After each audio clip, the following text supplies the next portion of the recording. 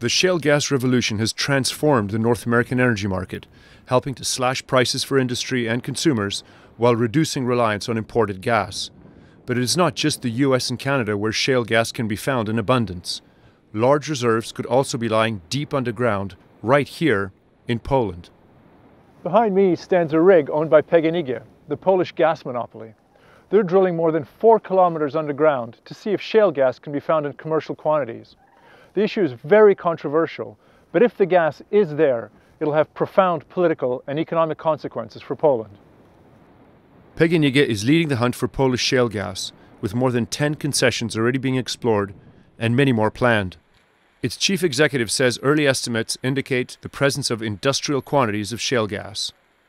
We've got assessments being done by a Polish Institute for uh, Geology, uh, which is uh, between 350 billion cubic meters to 7, uh, 700 million, uh, billion cubic meters. So it's uh, huge, actually. Um, these, are, these reserves are huge, just in comparison with our yearly consumption, which is 15 BCM. As well as potentially providing cheaper gas for homes and businesses, the impact on the wider economy could also be huge. The prospect of large shale gas deposits has brought a rush of foreign energy companies, particularly from the US and Canada, who lead the way in shale gas technology and expertise. I think it will reinvent the way that Poland uses energy, and more importantly, it will will stimulate the economy for the long term. Uh, it will generate uh, a huge amount of jobs, a huge amount of, a huge amount of industry, and will bring uh, cheap, low-risk energy to, to Poland and indeed Western Europe. But for Poles, the biggest attraction of shale gas is political rather than economic. Poland currently pays a high price for the 10 billion cubic meters it buys every year from Russia via state controlled Gazprom. Shale gas offers Poland not just wealth, but also the tantalizing prospect of energy independence.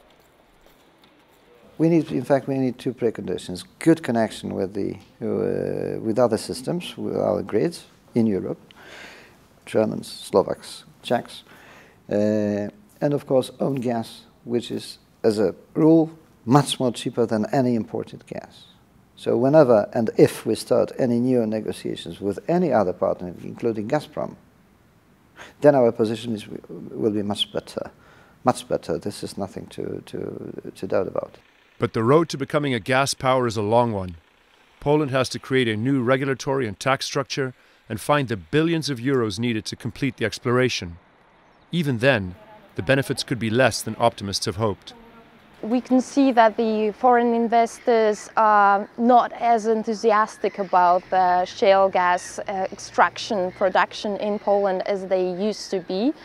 And, and, we see that there is a lot of problems with the legislative framework as well. So there is a promise uh, that comes with shale gas, but we, we see that there is a lot of challenges as well. Yet the combination of economics and politics has helped make shale gas very popular in Poland.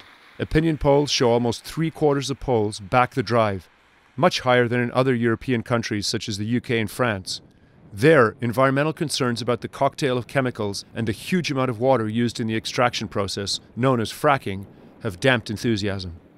Enormous amounts of water with sand and toxic chemicals are used to kind of push out uh, shale gas from the source. So local people are very much concerned about uh, their water. If they still have water available, if the water will um, remain in good quality, and usually investors are not answering these questions.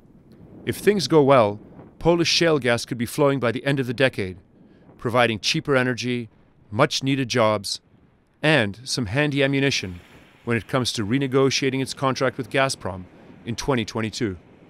In 10 or 15 years, this area could be crisscrossed with rigs and pipelines. That may not please all the locals, but it could free Poland of its energy dependence on Russia, and for many in this country, that would be a price worth paying. This is Jan Cienski for the Financial Times in northern Poland.